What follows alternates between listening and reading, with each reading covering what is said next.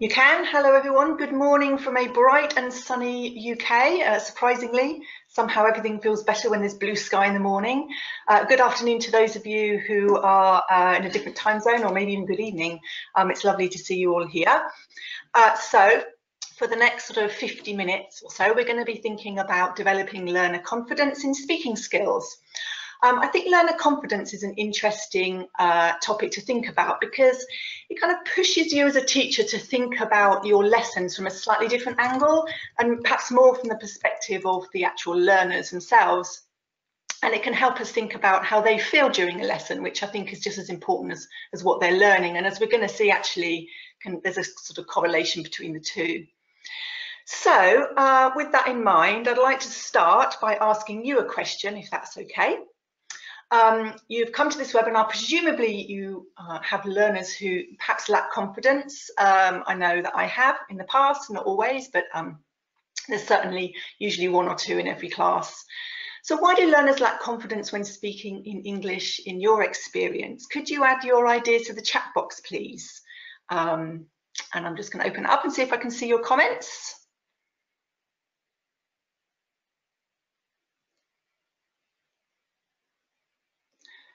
Okay, so Richard, I can't see the comments at the moment, but I'm going to assume that you are all uh, sharing your ideas. So um, just please... to say, oh, yes, the yeah. chat boxes should be available on your right-hand side um, of the screen, mm -hmm. um, next to questions. Yep, so you can uh, hopefully type your ideas into there. Oh, actually, it, uh, um, I think it's actually there's the the issue is that um, we have people answering questions, which is fine because I think the chat box may not be available in this particular instance. So there we have people saying that some people are afraid of mistakes because they feel insecure and they're afraid of making mistakes. Mm -hmm. They don't want know what to say. Um, they lack practice. They don't have enough vocabulary. Mm -hmm. um, they, might, they might be afraid of being made fun of. Um, yeah some students, Spanish students, feel that they have a, a lot of accent. Okay. Um, and we've had a question. Could you repeat the question again, actually? Somebody's asked you to do that. Oh, so the question is, um, I'm just trying to find out my thing. So why do learners lack confidence when speaking in English? We've also had somebody say um, because of shyness. Um, yeah but the main the main response has been a lot of being afraid of making mistakes. Absolutely yeah. So that is always a concern isn't it? Learners always worry about that. And it's trying to create that environment where we encourage learners to kind of attempt to, to, to you know take risks and therefore mistakes are part of that and that's absolutely fine. Um, okay uh, thank you very much for that. So um, let's think first of all about what we mean by confidence because I think that's really important. Um, it's not necessarily your confidence in yourself and your character or anything like that. We're actually talking about self-efficacy. And self-efficacy is um, what Bandura describes as a belief in one's capabilities to organise and execute the courses of action required to produce given attainments. Uh, so uh, if we simplify that a little bit, it's basically a learner's belief in their ability to do tasks in order to achieve a, particular goal, in order to, to, to, make progress, to, to communicate effectively. So in speaking, it's about communication, isn't it, in the, in the language classroom, being able to communicate ideas, to understand other people's ideas, to share ideas, and so on. So that's what we're talking about. It's about performance in tasks. And if you look at um, sort of influence of self-efficacy, if we think, if we look at literature and research, there does seem to be some agreement uh, among researchers and writers that there is a correlation between self-efficacy and goal setting. So if you have high self-efficacy and you have a strong belief in your abilities, then you set, you know, big goals for yourself, you set uh, challenging goals um, because you think you can achieve them. But if you have low self-efficacy, then you set goals which aren't all that challenging. Then there's a correlation between goal setting, uh, sorry, between self-efficacy and performance. So if uh, it's a bit like that saying, isn't it? If you think you can, you can. If you think you can't, you can't.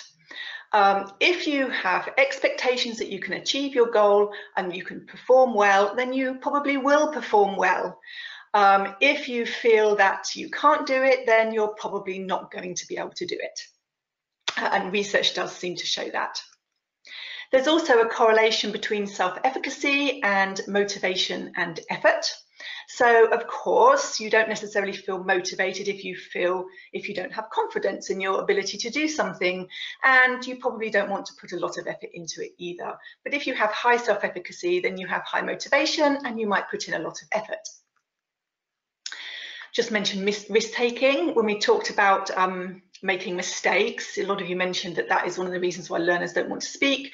Obviously, there is a, a, a correlation between self-efficacy and risk-taking. So the, high, the higher your self-efficacy, the more willing you are to take risks um, and care less about those errors. Whereas if you have low self-efficacy, then you don't really want to take risks because I guess that's going to affect your self-efficacy again, isn't it? Because it just makes you feel like you're, you're a bit silly and you can't do it properly. Um, there's also uh, a correlation between self-efficacy and the use of learning strategies. So learners with high self-efficacy tend to have learning strategies. They know what to do in order to be successful. Uh, and I guess that comes from, um, well, it's, you know, success breeds success. The more you are successful in something, then the more you understand how to be successful and you have those learning strategies available to you. So that can, that's what self-efficacy can influence in the classroom and all of those things I think are incredibly important. We want learners to set challenging goals, to um, be able to perform. We need them to have motivation and effort, to take risks and to have the learning strategies they need to succeed. Because when they do that, we have this nice cycle here, don't we? The learners have confidence, they set a, a challenging goal, they feel motivated because they think they can achieve it, they put in the effort, they take risks, they utilize the learning strategies they have, they achieve their goal, confidence increases, self-efficacy increases, and the cycle continues. But if you have the opposite, if you lack confidence, you might have low expectations. And even with low expectations, it's going to impact on motivation because you think, why should I bother if I'm going to have so little reward? And you put in minimal effort and you're scared of taking risks because it's going to impact on how you feel again in future. You might not be sure how to achieve your goal because you don't necessarily have the strategies. So you might not achieve your goal or you might achieve your goal to some degree, but it's fairly low level goal. So that doesn't really give you the confidence that you need to create that lovely positive cycle we just saw. In fact, it's just going to make you feel worse for next time. So if you have learners in particular who are kind of pushed to learn English, uh, haven't necessarily chosen it themselves and are already perhaps struggling with motivation, then confidence can have a big impact on that, I think. So again, if we look at literature and research at what influences self-efficacy, there seems to be agreement that these things um, have an influence. Successful past experience, so it's the cycle we just looked at. If you do something well in class, if you perform a role play well in class, then next time you have to do that kind of activity, you're going to feel that you can do it again and that you have a higher self-efficacy, therefore you perform better, and so on. Task difficulty also has an impact. If the task is too difficult for you, then you're going to, well, you're probably going to be, uh, you're going to give up more easily if you have low self-efficacy because you don't feel that you can actually achieve the task because you haven't done it before, so why would you do it again? So that successful past experiences can have an effect on, on how much you, how much effort you put into task difficulty, but also we need to make sure that difficulty is achievable for all learners in the classroom. Positive feedback from others can influence self-efficacy. So, um, uh, you know, hearing it from your peers and hearing it from your teacher can help you to feel that you can actually achieve something and gives you the motivation to do that. And also when you look at your peers and you see them doing something successfully, that, that, that can also make you believe that you can do it yourself. So with, when I'm talking about peers, it might not necessarily be everyone in the class, but it's going to be those people that you identify with as a learner. So those people that are that you sort of work with that perhaps you see as quite similar to yourself. So again, you can encourage each other. Now, I think that peer successful performance is something that we allow learners to, to recognise a lot in the classroom, or at least we give them exposure to peers' performances because we do a lot of pair work, don't we? We do a lot of group work. We might give demonstrations in front of the class where we use a learner, um, that kind of thing. Learners are exposed to their partner or other people in the group. They're exposed to their performance so they can see when someone is doing, doing it successfully and they can then recognise that and hopefully use that to build their own self-efficacy. Um, but what I'd like to do for the rest of the session is kind of focus on how we can help learners to have successful experiences so that that then helps them for the future, builds their self-efficacy across your course, how we can address task difficulty and how we can ensure that learners receive positive feedback from you and also from others, also constructive feedback, but that, that there is certainly a focus on positive things. I think sometimes um, certainly from lessons that I observe and also when I think about my own lessons for a very, very long time, feedback tended to consist of error correction quite often and sometimes didn't necessarily focus as much or equally on what was done well. Uh, and I think that is important as we'll talk about later. So um, what I'd like to start with is thinking about objectives because um, we need to help learners to uh, identify objectives. Because when learners know what they're learning, they're much more likely to identify or recognise progress. And also, um, hopefully, if we're helping them to set objectives by setting them ourselves or in, you know, involving them in some way, perhaps, but also guiding them, we can help them to set objectives which are realistic for them. And we can also help them to achieve those objectives. I remember a really long time ago in my career, um, I was teaching a class of uh, A2 plus learners. They were all male. They were extremely um, enthusiastic, very competitive with each other. They were a really, really lovely, memorable class. But um, trying to control them could be quite difficult at times. And at the end of the session, I actually felt like I was, you know, I'd been in a boxing ring. Um, so I asked my director of studies to come along and observe to give me some advice on how I could deal with that class. He turned up, he sat at the back of the room, and of course they all behaved perfectly. And um, the observation really was a bit of a waste of time for him because um, he couldn't really see what they, what they did in, in normal practice. But at the end of the lesson, I heard him talking to some of the students and he was asking them some questions. And so I asked him what he was asking them. And what he asked them was, what did you learn today? And the students said, we learnt about animals. Well, my objective for the lesson was um, to be able to talk about hypothetical situations using the second conditional. Animals was only the topic, that was not the actual learning objective. So what that meant was that learners went away from that lesson not really understanding exactly what they were trying to achieve and therefore how did they know if they'd achieved it. Um, for some learners, they will have recognised what they were doing and why, and they'll have recognised progress. But for some learners, they really wouldn't. They just come, they passively attend lessons, they go home. And that doesn't help to build self-efficacy or confidence. So uh, what we can do is we can share learning objectives with students. So we can firstly be very clear about a speaking lesson. What is my speaking objective for this lesson? What will learners be able to do at the end of the lesson that they couldn't do at the beginning of the lesson? Or perhaps better, in fact, probably it's going to be better than they could do at the beginning of the lesson. For example, I can compare, compare two places. So putting it as a can-do statement so that learners can identify with it. Um, so we can we can share that with them in the classroom. We might do it at the beginning of the class or maybe after the warmer once we've warmed them up.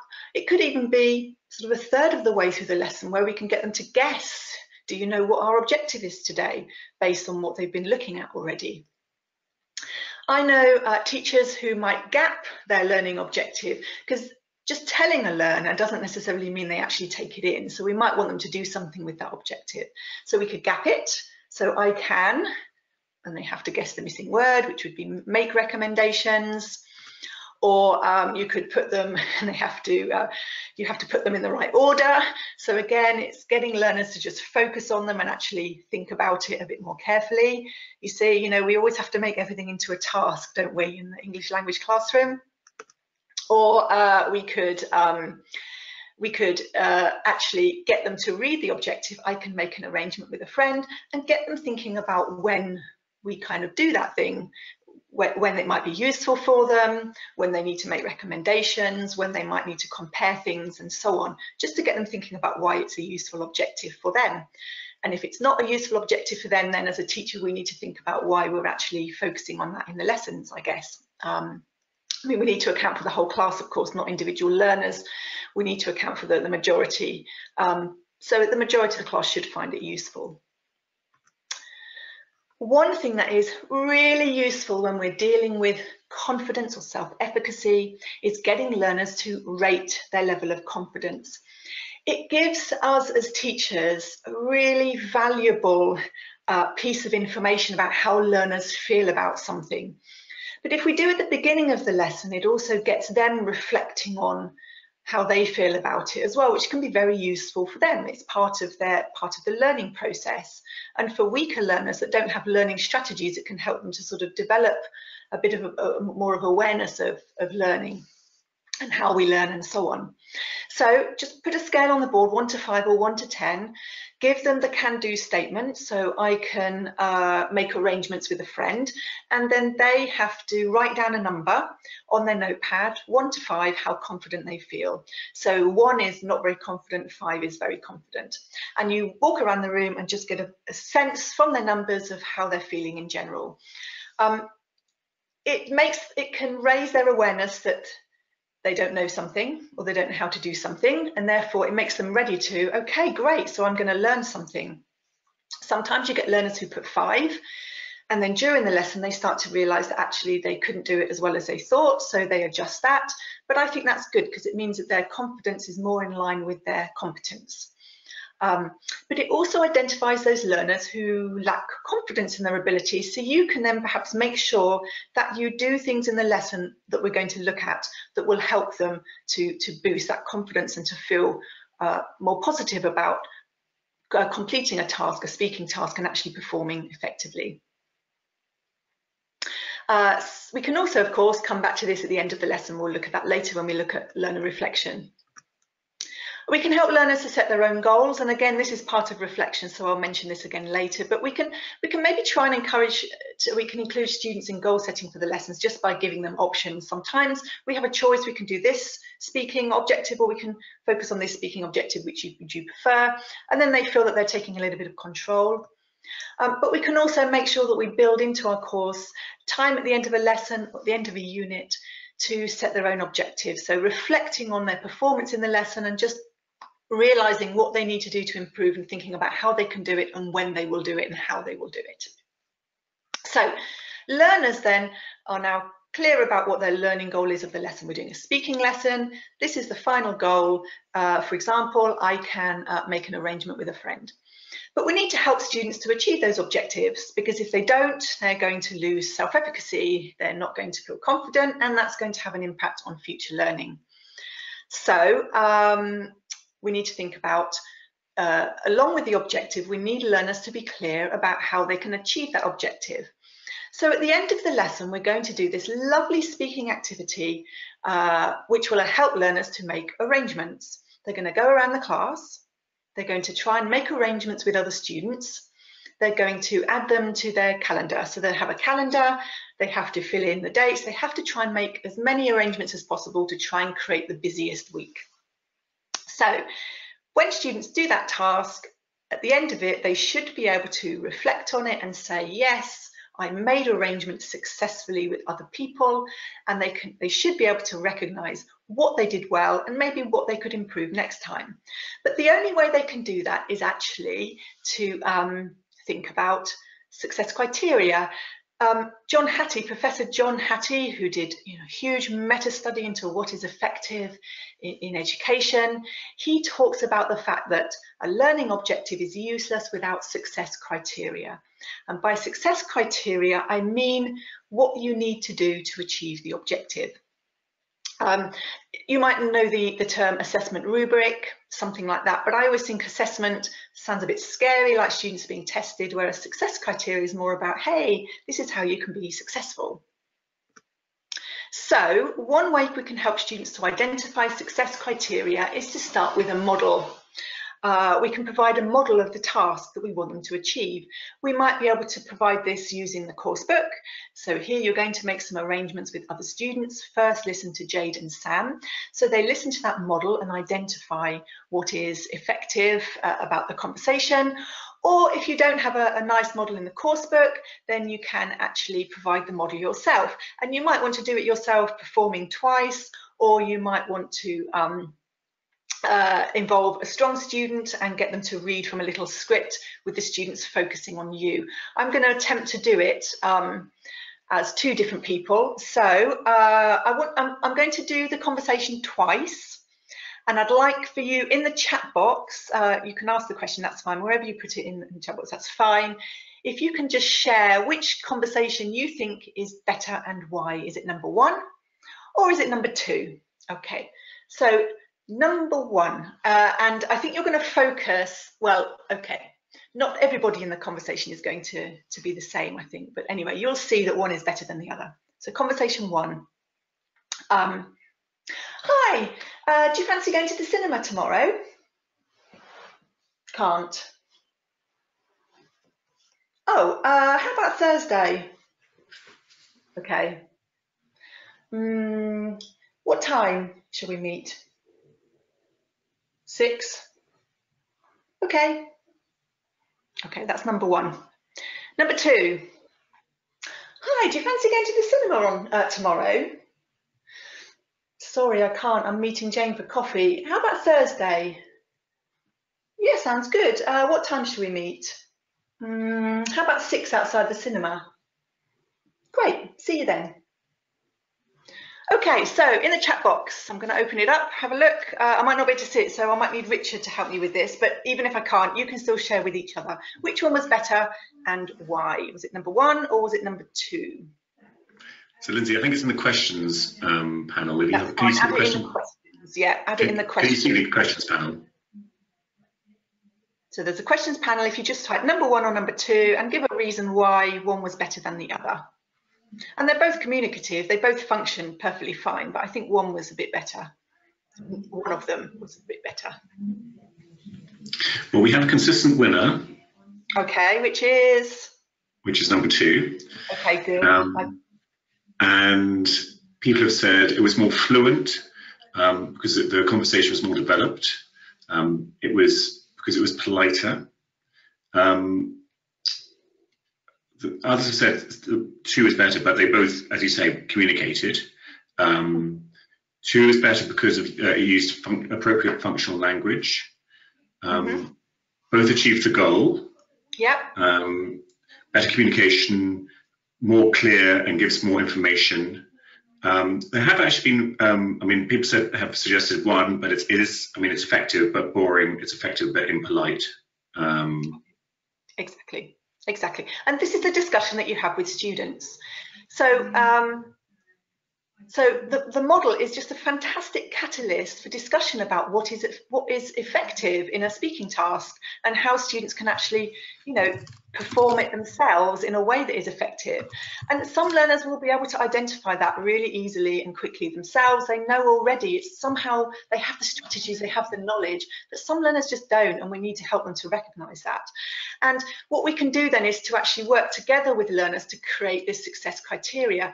Now, um, uh, I'll, I'll, talk about that in a moment, actually. I'll come back to that. Um, so uh, we might put on the board a list of criteria. It doesn't necessarily have to be in English. It could be in L1, depending on your learners. Uh, and it will be simple or complex, depending on the level of your students. Um, you can do it with children. You can have just very simple sentences with lower levels, again, it's the language that you use that, that's important. Um, what I would say is that, for example, you know, um, and I'm assuming, by the way, that we've actually covered the language that learners would need to do the task. So they're familiar with language of invitation, that they recognize that there are these phrases that you use and that they, they come up with that when they discuss the criteria. Um, that they perhaps identified that, that the present continuous used, was used to talk about an arrangement, for example, because they've studied it already. So um, the criteria can be whatever students come up with, whatever you feel, it's an agreement between the class. Students will sometimes come up with things you didn't think about. Um, I would say that um, when you're creating the criteria, if you're talking about language, it's always useful, to give examples. Um, so here, for example, at the bottom, I put use appropriate intonation, sound enthusiastic. Learners will need to know actually what that means. So that might need some modelling, might need some drilling and that kind of thing. Uh, and then I've put some other prompts on the board. But now learners have this um, criteria, so they now have a much better understanding of how they can be successful in the task, and therefore hopefully they'll be more successful in the task. So when we're dealing with speaking tasks in the classroom, there's just a little sort of um, approach that we can take, and that is to start by providing a model. Uh, or I think two models is really good as well. Uh, uh, I put good and bad here, but of course both my models were effective. It's just that one was more effective than the other. Um, good and bad was just shorter in the pace. Um, what you choose to include in your good or your very effective and your less effective model depends on the level of your learners, of course. Um, for, uh, for A1 learners, then of course the first model, perfect um, with perhaps a little bit more polite intonation, that would have worked really well. Um, but it wouldn't work well for a B2 learner, for example. So um, providing two models, because when you provide the bad model learners or less effective model, learners can see more clearly what is good about the good model.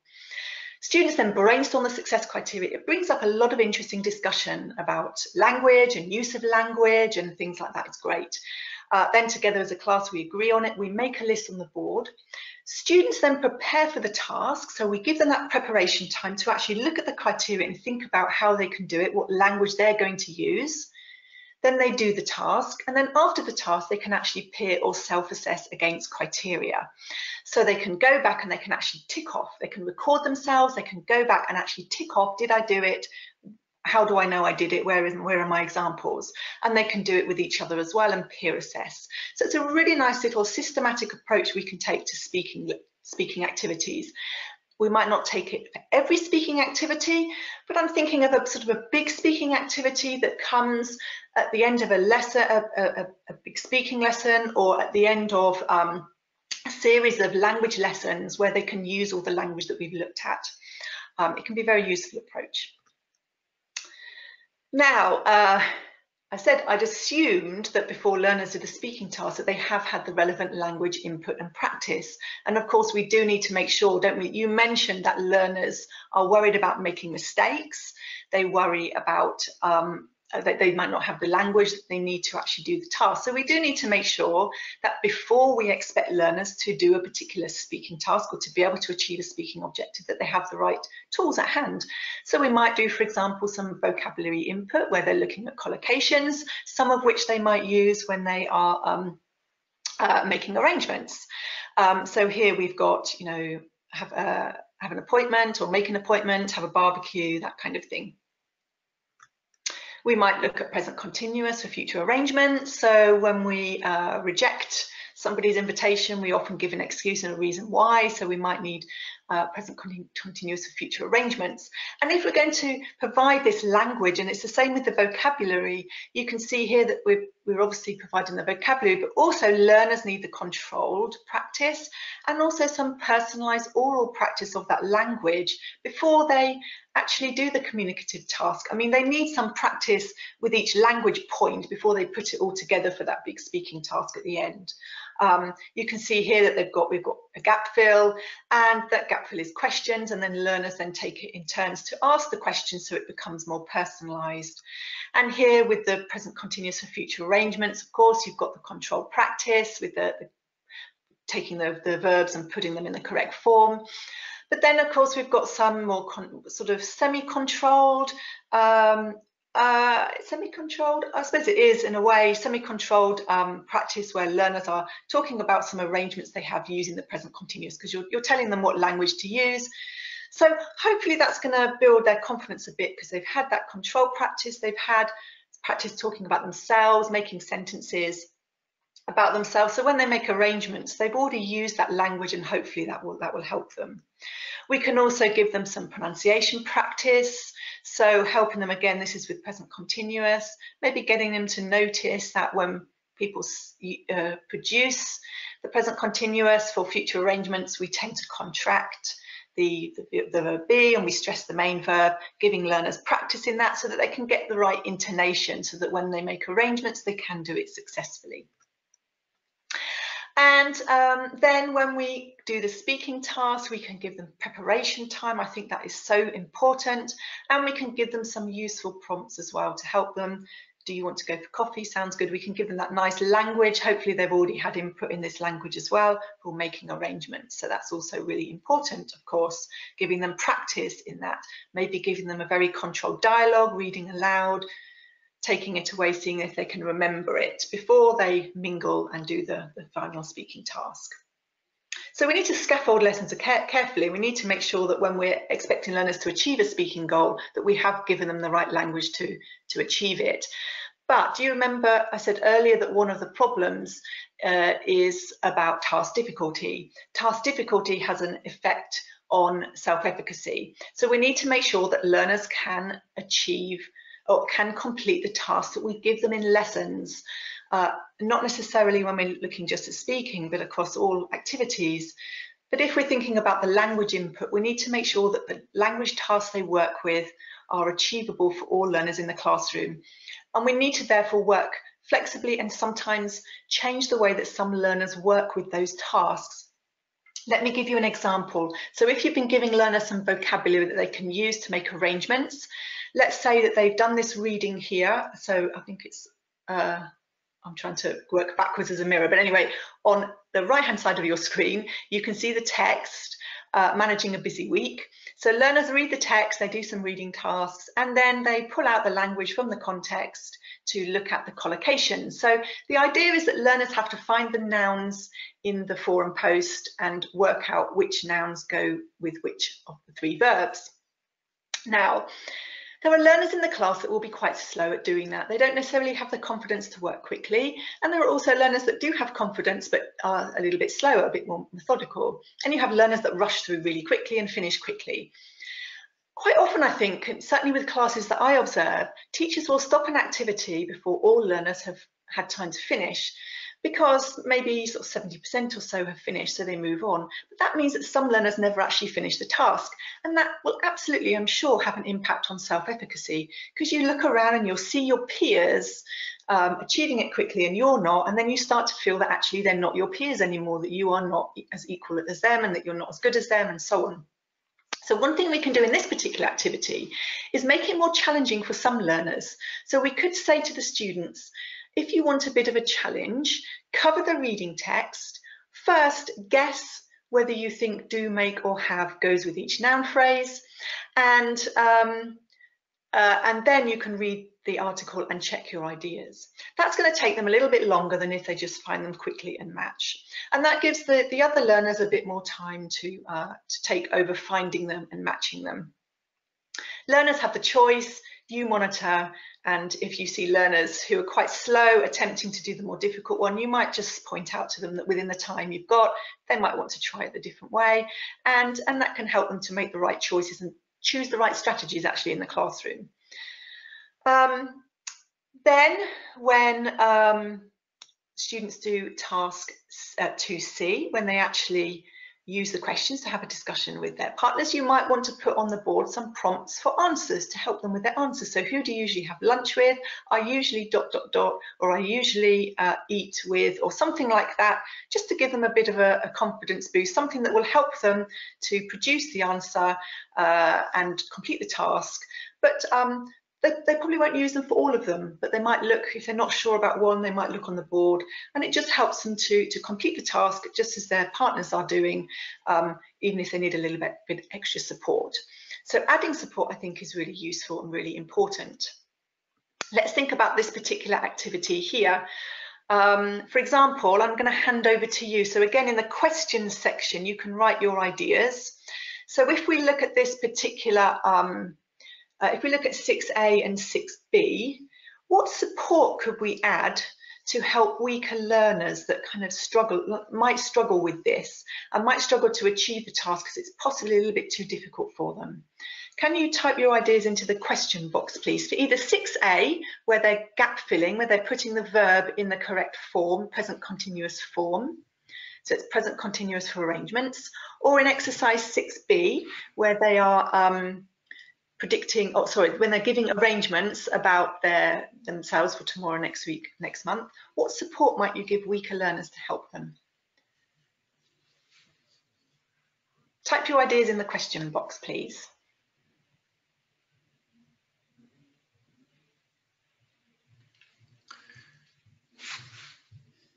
Hi, Richard. Hi there. Yes, we're still. It's just taking time for people to come through. For it to come through. Um, well, we have a few a few answers. Um. I'd definitely put a model question on the board. Good. Um, take the first sentence as, a, as, an example for everyone. Yep. Okay. Um, they can use 6A to help them do 6B. Yep.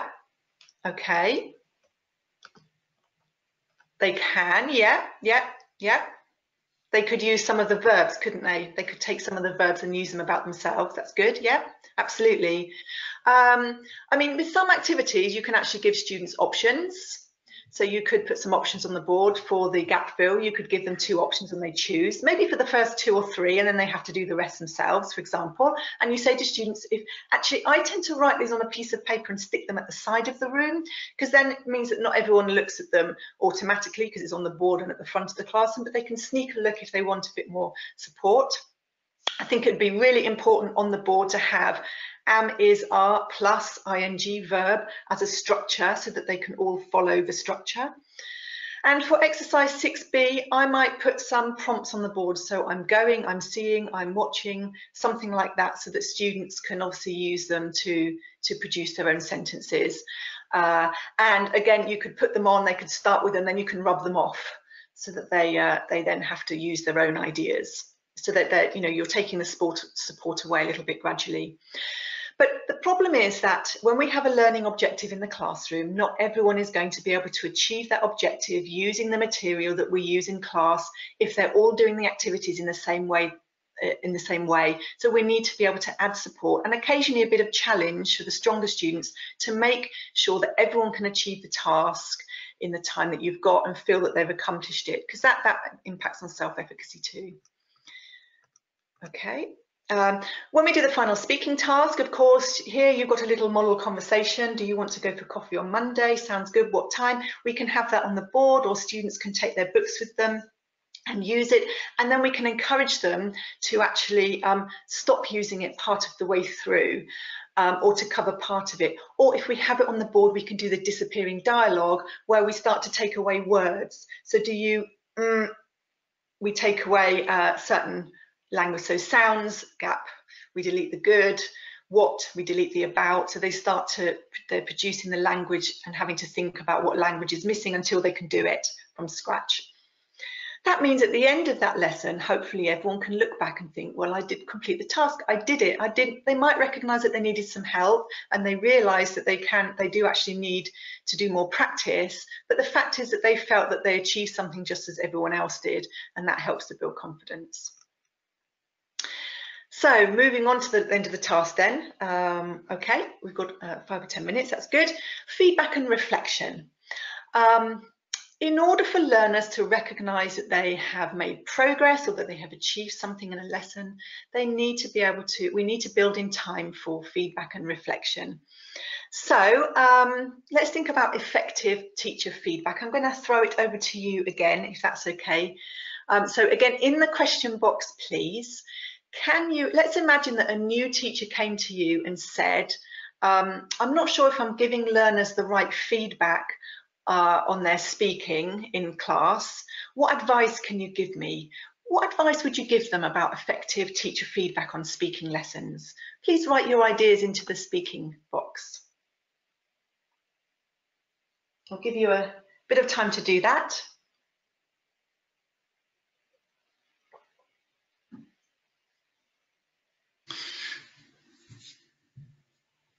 Yeah, people are still thinking. Okay. So what is effective feedback? A new teacher comes to you and says, I'm not sure if I'm giving feedback effectively to my students on their speaking. What advice would you give me? What would you say? One suggestion is to put the language on the board after the speaking task. Okay. Um, and can I just say that I would suggest that it's not just errors, but it's also examples of good language that learners used, because learners need to recognise that they that the language they used that was wet, that was good, that was effective, and recognise that actually, yeah, I need to keep doing that again. I need to make sure that I keep doing that.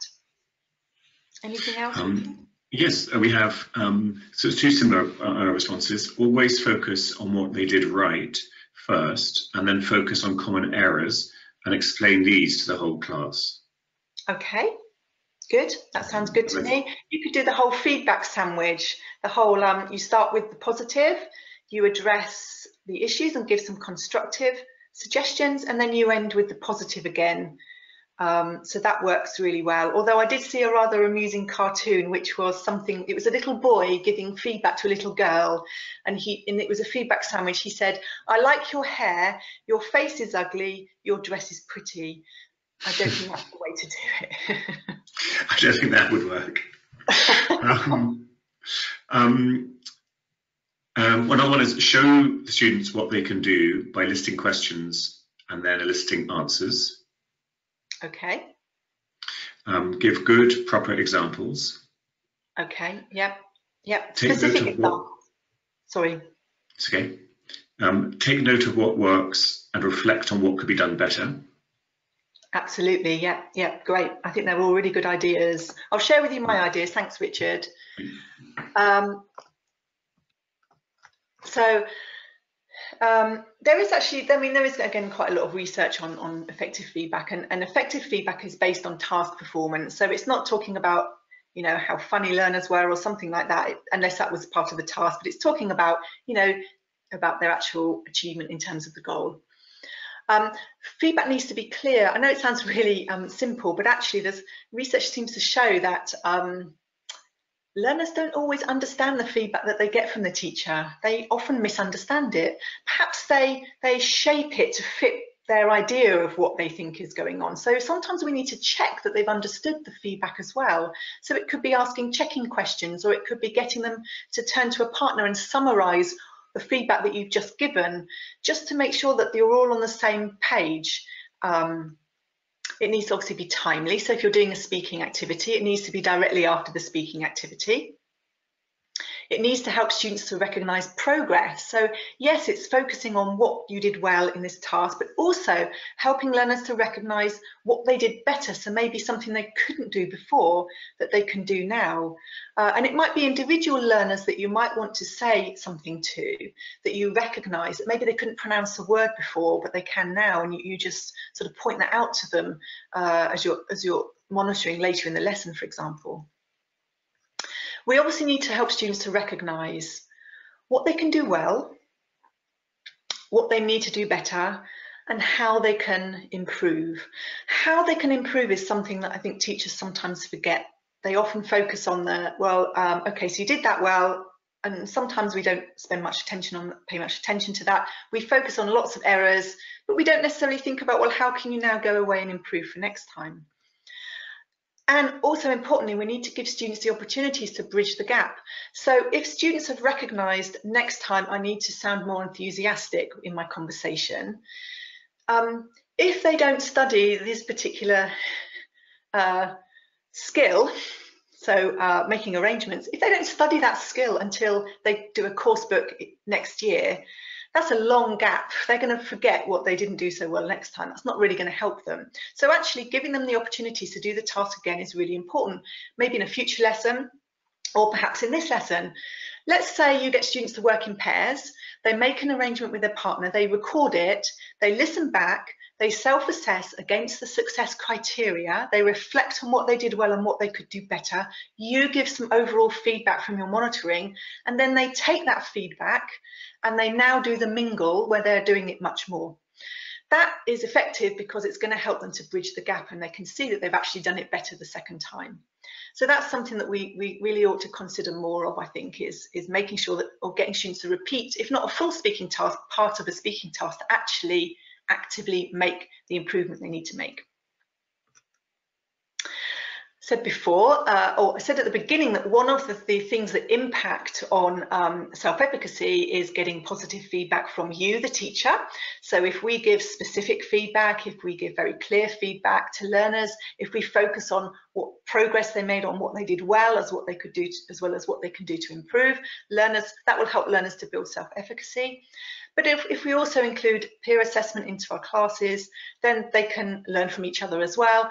And as I said earlier, with success criteria, learners are better able to provide useful feedback because they can go through, they understand what they're li listening for when they listen to their partner do a speaking task and they can go through and say if they think something was done or not and the students can discuss it they can listen to the recording um, and then we can give them some nice prompts to be able to give them positive feedback. So you mm -mm, very well.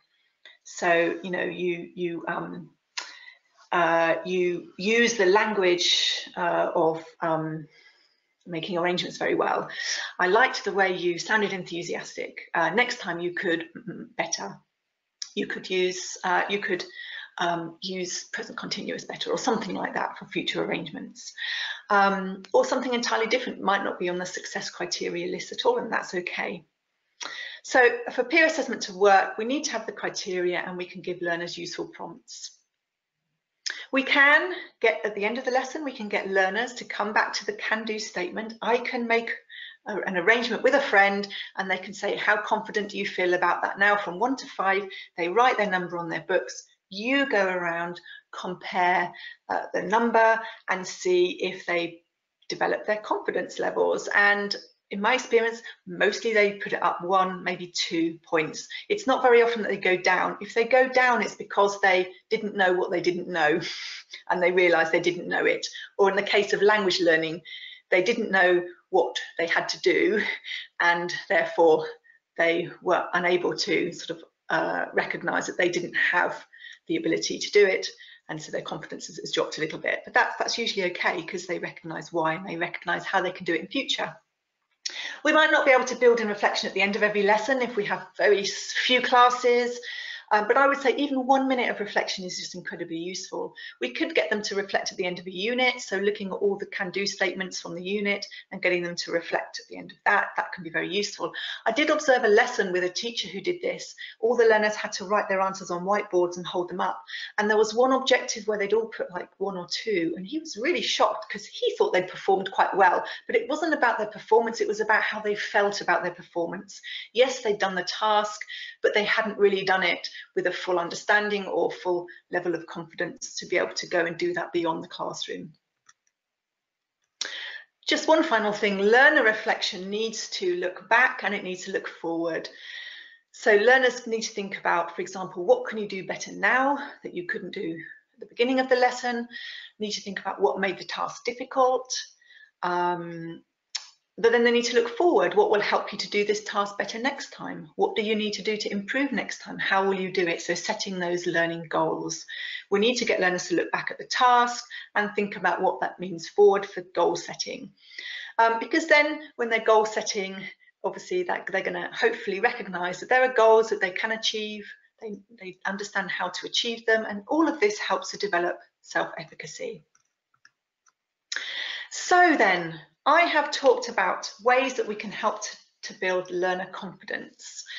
Um, and I talked about how we can help learners to set learning objectives or at least make them aware of the learning objectives that we set them in the classroom because when learners know what they're trying to achieve in a speaking lesson, they're much more likely to be able to recognize what they're doing and uh, and recognize if they've done it. And if they recognize progress, even if it's not full progress, any progress that they recognize will help to build confidence.